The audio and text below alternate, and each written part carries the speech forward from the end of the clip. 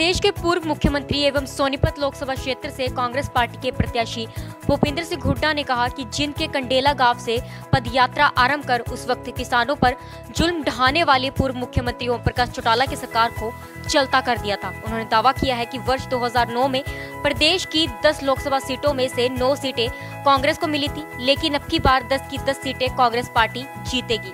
वे आज जिन विधानसभा क्षेत्र के हल्के के गाँव का रोड शो के दौरान मीडिया प्रतिनिधियों से बातचीत करते हुए उन्होंने ये जानकारी दी। पूर्व मुख्यमंत्री ने आरोप लगाते हुए कहा कि वर्तमान केंद्र एवं राज्य सरकार से सभी वर्ग दुखी हैं। उन्होंने कहा कि उनकी सरकार आने पर समाज के प्रत्येक वर्ग के हित में कार्य किया जाएगा। ये सरकार से सारे वर्ग विमुक्त हैं।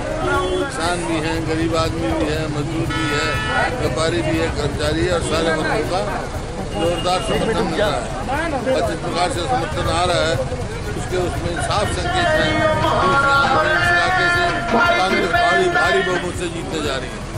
कि किसानों को बिजली के बिल के लिए यहाँ गोलियों से उड़ाया गया था आज सबको पता ही होगा कि आने वाली पूरा इनसे मदद करी थी और यहीं से चल के जब मैं पद यात्रा में गया था तो ओम प्रकाश सरकार चलती हो गई थी। दो हज़ार नौ में जितनी आई दो हज़ार नौ में दस में से नौ आई थी। अब क्या हो सकता है दस में दस आ जाए?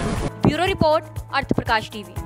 ताज़ा अपडेट्स के लिए अर्थ प्रकाश टीवी को सब्सक्राइब करें और बेल आइकन को प्रेस करें।